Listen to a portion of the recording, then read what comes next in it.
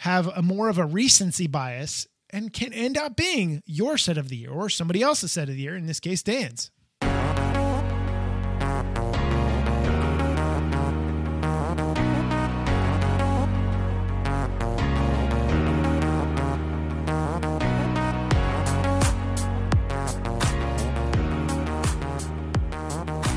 This is news on a Tuesday.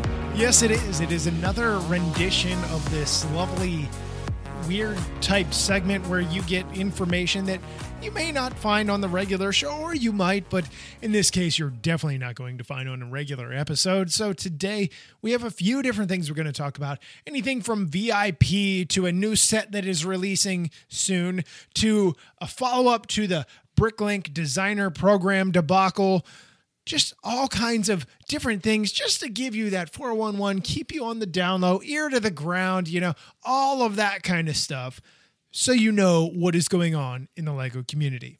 So first off, this week is always it's always great when Lego decides, you know what? We love our fan base, our our supporters, our uh, people that buy all of our stuff.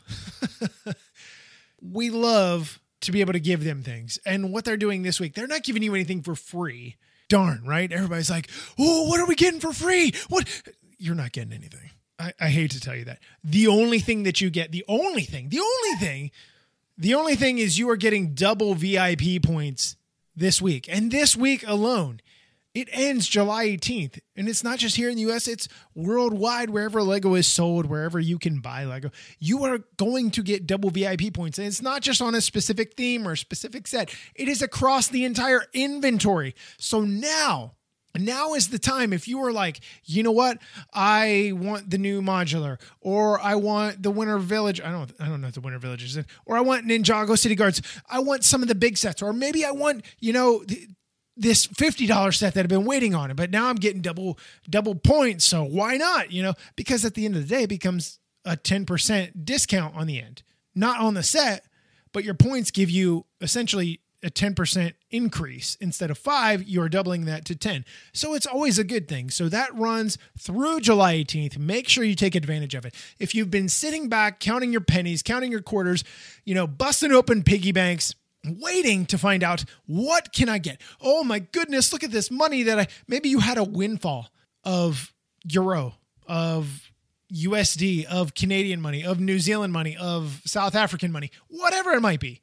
Now is the chance to use it. These come around a few times a year. We probably won't see another one until I would say probably potentially October, usually around the Black Friday, Thanksgiving type shopping holiday here in the United States. You usually see it.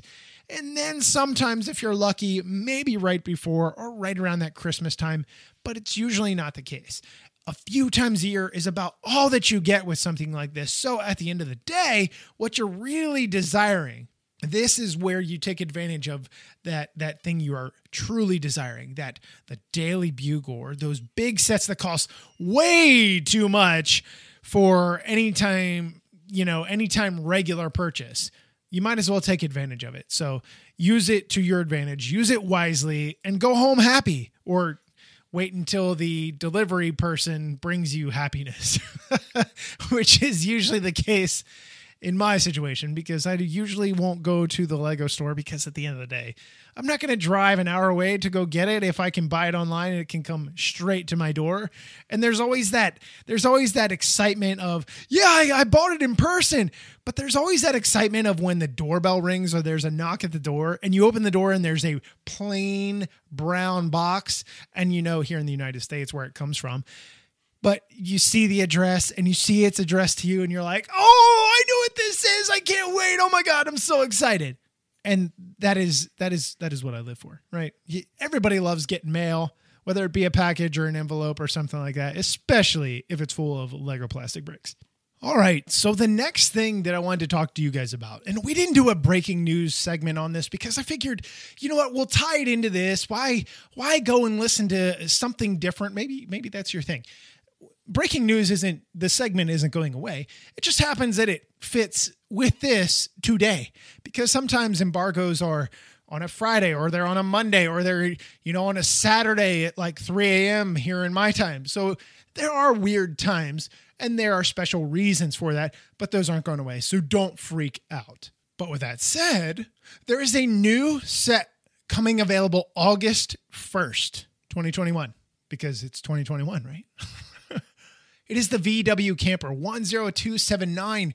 It is going to retail for 180 bucks here in the US and it has 2200 pieces euros. If you're looking, well, how much is it going to be euros? It's 160 euro or euros. I guess euro would be one, euros would be multiple, right? anyway, so it's the Lego Volkswagen T2 camper van. August 1st, you can get it. I will tell you what, Lego has done something that I'm not very happy with. Not at all. Right now, I'm, I'm sitting here, I'm, I'm, I'm, you're hearing me, and I'm just like, I don't know that I can do this. What is wrong with Lego? What is going on here?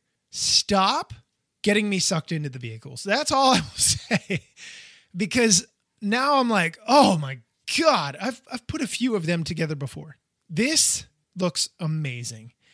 And then you add on the top of some other vehicles. The one that is coming, uh, what October first with the with the truck with the wreath on it.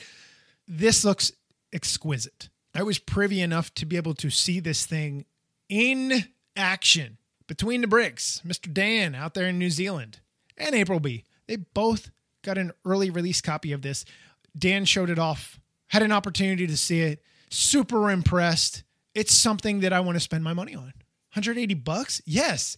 Now in 2011 they had another version that came out, but that is nowhere near what this is. You're talking a 10-year gap between new pieces, new techniques, different designers, just overall better. I'm sure the price point is much more expensive. But at the end of the day, what do you want? You want something that you can build, enjoy building, and then also be able to display, or maybe you want something that's just worth its weight right? You want something that I'm going to I'm going to spend my time, I'm going to spend my money on this. It's 2200 pieces, but is the build going to be worth it? Now I will tell you there are new pieces in here and Dan showed some of them. They are wicked, brilliant new pieces that are coming. Some Technic, some standard, like system, not standard, system type things. But oh my goodness, how can you not be excited for something like this? Now, maybe vehicles aren't your deal. Maybe you're like, you know what? I really can't get into the vehicle type thing. It really doesn't work for me all that well. I, I, I just, I just can't find myself building it and then going and sitting it on a shelf. Well, you can play with this too. And the wheel that is on it, I think it's on the front. If Dan, if, if I remember correctly when Dan said it, the wheel that is on the front of the Volkswagen, I'm going to say it's on the front. I'm going to make that decision. The one that's on the front, it can turn. And what it does is it turns the front steering. So you can actually steer this thing by turning that wheel that is supposed to just be a tire. That's a brilliant design. That's a brilliant design. And at, at day's end, you have something that you can play with. You have something you can display. You have something that is going to be an intricate build to a certain degree, a fun build, a new build, an updated build, if you will. Because some of you are going to say, "Well, I already have the other one." Well, now you want the now you want the updated version. You know what? You might have a a a 2000 Pontiac Grand Prix. I don't know if they made Pontiac Grand Prix back then, but you know what? I want a newer version in 2010, which I know they weren't made in 2010. So, it, anyway, that's beside the point. My point is, you want something updated. You want something with newer pieces, new ideas, new uh, new variation of building, new techniques, and if you have room to be able to store it build it and then maybe break it down and store it or build it and display it or build it and I don't know, sell it. I don't I don't know. There's plenty of people on Bricklink that would take your Lego set off your hands for a decent price, of course. Nobody's going to pay double or triple unless it's something super uber special. Maybe they just found modulars and they're like, "Oh my god, I have to pay $500 for modular." so there is that. But I will tell you what, the the category of creator expert where Lego has really taken in the vehicle stuff. And I know they've done the Ford, the, the Mustang, and they've done many, many other vehicles. They did the, the little Fiat, what, last year, 2020, the beginning of 2020. That's all fine and dandy. This just seems to be a step above. The Fiat was what, $90? Definitely wasn't what I expect of a creator expert type vehicle. What is coming in October was it 130 bucks? That is what I expect. 180? Yeah, you darn tootin' this thing is going to be bells and whistles galore. You know this thing is going to be ready to go and and it's going to be wicked. It's going to be awesome. It's going to be something that you are going to have a lot of fun with. That's all I can say really because I'm gushing.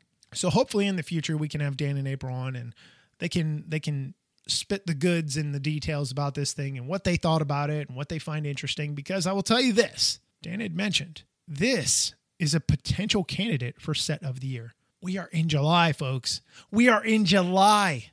It's not that far off the end of the year. If you, if you stop and think about it, we're already halfway through. And once holidays hit, things just go, they just blow right through. So there is potential that these things coming out near year's end have a more of a recency bias and can end up being your set of the year or somebody else's set of the year, in this case, Dan's. So, that lovely thing aside, I want to talk about the Bricklink designer program debacle again. I know, right? You're like, seriously? I have some updated details. So, first off, if you are a scalper, if you are somebody, if you are a scalper and you're listening to this, we got problems. Uh, you, you, we need to talk because you are an evil, evil human. If you are human, maybe you're just a bot. Either way, scalpers that are on eBay are headed for takedowns of their pre-orders. Lego is pushing hard. They are coming after you. And if you're hearing this and you are a scalper, you might as well take your listing down right now because Lego is on you. All of the complaints that were out there of seeing these pre orders that went up and were double, triple, quadruple the price of this thing was excessive and uncalled for. It's it was despicable. It was pure greed. And the thing is, if I'm not mistaken, pre-orders you have to have the pre-order within like 30 days or something like that. It's got to be available within 30 days. We're talking like what, months down the road from now. That's definitely not 30 days. So I'm hopeful two things.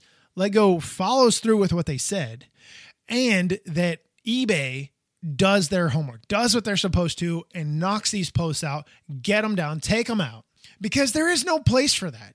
And if you are somebody that was unfortunate enough not to be able to purchase one, like myself, I'm not paying a scalper. I'm not paying this exorbitant um this this price that somebody is charging me to be able to get something that, you know what? In a few years, I might be able to get it on Bricklink. Yeah, there's probably going to be a 10, 15, maybe a 20% increase, but it's not going to be 800% increase. It's just not going to happen. So just keep that in mind moving forward. Lego has your best interest in mind as far as that. The next part of this little whole deal. Okay. There were only a few projects that were chosen, and obviously there's going to be more and more and more as we move along, as they move through these stages of different projects. Think of if you think of it as kind of like the Lego idea stuff, you're you're you get a really good understanding of, you know what, we're moving along, and Lego is going to during this period they're going to create this during this period they're going to create this and i don't mean just specific, specifically lego i mean under the brick link umbrella because there are oodles of umbrellas for Lego, obviously. But the castle in the forest specifically, that was one that everybody was trying to get after. Well, there was a glitch that allowed 10,000 of you folks, well, I think you could order more than one at that time. But anyway, this glitch allowed 10,000 to be ordered instead of 5,000. And here's what Lego is doing they're going to keep the honor system going. They're going to honor your purchase or purchases and they are going to allow that to go through. So kudos to them. I don't know how the glitch happened or whatever. All I know is I'm I'm glad they weren't like, um, nope, first five thousand, the rest of you, sorry, here's your angry email or your email where you're gonna get angry and and and and freak out and oh what? I I got in. So I'm glad that they are doing that. Now moving forward, they are only going to allow in this in this program, they're only going to allow you to purchase one of each product. If if you want to do all, let's say there's 5 of them and you want to support all 5 of them, you can do that. But you can only purchase one of each or pre-order one of each, which I think is going to cut down on scalping to a certain degree. You don't need more than one. You might love it, but you don't need more than one. Now I don't know I don't really know how they track this stuff.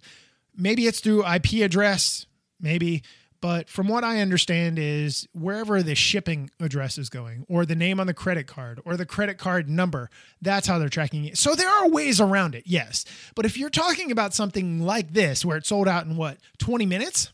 It's going to be it's going to take a lot more legwork for somebody to purchase it, hope that they get back into the server and use maybe maybe they have an IP blocker. Use that use a different credit card under a different name, under a different shipping address. I mean, there are things that you have to check off on that list to be able to get more than one moving forward. So I, I appreciate what they are doing to be able to stop the the tide of these fools that are trying to just go in and buy 10 of them. Obviously, it wasn't 10, it was like five, I think, but multiple copies of this so that you and I and Bob down the street can be able to enjoy something that we don't have to pay this heavy, heavy price in the secondary market. So kudos to them for being able to knock that out of the park and, and just kind of bring that down, bring the demand up. Yes, the demand is still there, but take out of the equation kind of the fools that are all over the place that think, oh, I'm going to make, you know, a crazy ton of money off this. Don't pay scalpers. If you know somebody that is scalping, tell them you better quit don't pay scalpers. That's all I'm telling you. Don't do it. Wait, hope. After the fact, that's up to you. But before the product is even released, don't do it. So, one of the things that I didn't put in here in the beginning of the description of the show that I wanted to just take a quick second and chat with you guys about so, Beyond the Brick, Beyond the Brick, everybody knows Beyond the Brick, their YouTube channel. You know the Hanlon brothers. They they go around the world and go to different shows. They interview different uh, set or, or, or designers of different MOCs and stuff like that, and, and and show what they built and how they created it and their backstory and just just little quick snippets and stuff like that they celebrated their 60th quarantine cast because as you know the world was quarantined what a, month or a month a year about a year and a half ago a year and a few months ago. And what they did is they started this quarantine cast where they had themselves on and they had some of their peeps on and then some other peeps that showed it and throughout the year and up until this point they had done 60 shows. It was every tuesday. It was a consistent theme. It was a consistent you know go round of this you know you could tune in at the time and they'd be on there for a, a number of hours and what they did is they just had Lego conversations. They had off the wall conversations. They just said general chit chat and stuff like that. Some people sitting by a harbor or or in a porta pot, you know, just kind of those weird things, right? But at the at, at the end of this thing, I have one thing to say. It, it is a it is a huge deal to be able to create something and allow viewers to come in when at that point in time people were just kind of like I, I can't go to work such as myself. Uh, my kids can't go to work or to work to school. Maybe they work too you know if you're an older kid or maybe there's yeah i don't know. Anyway so there was that.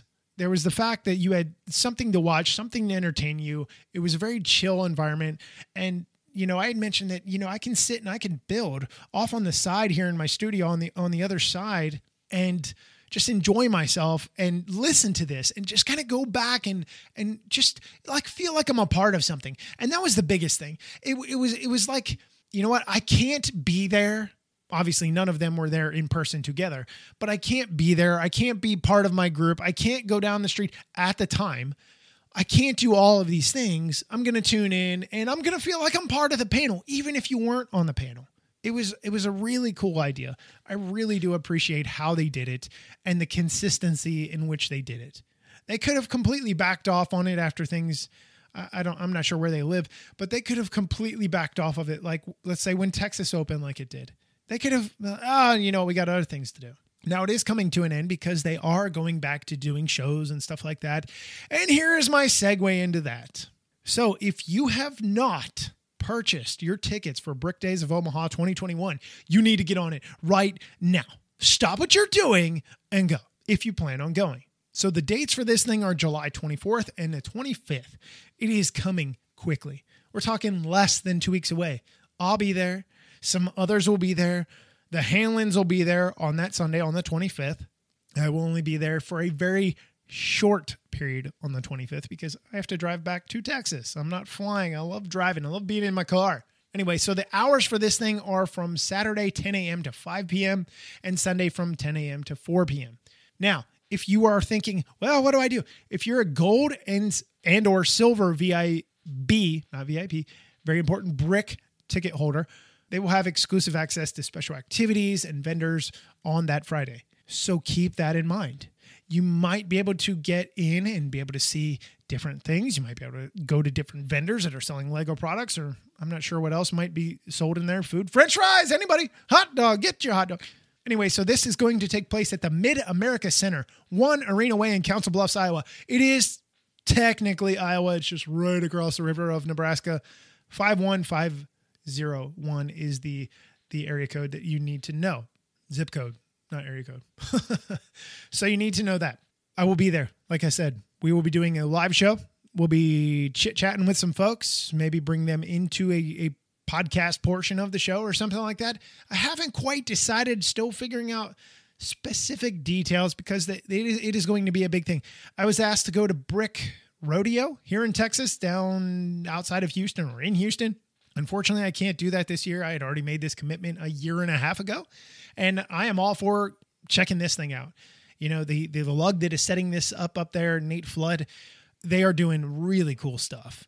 And if you are in that vicinity or you have any inkling that you might be in that vicinity or any desire to go there, go. You're going to see some really cool builds. There's Brick Fair, Virginia, the weekend after that. I think it's what, the 30th, 31st, or 31st and the 1st of August, something like that. A lot of big shows that are starting to slowly come back. So check them out if you are interested. Well, that's all I've got for this episode of, or yeah, this episode of News on the Twos. We'll be back next week with another one. And I hope that everybody is just enjoying their lives right now because there is nothing better than being happy and with Lego, of course. so until next week, I'm your minifig host, Matt. Let's bet on it.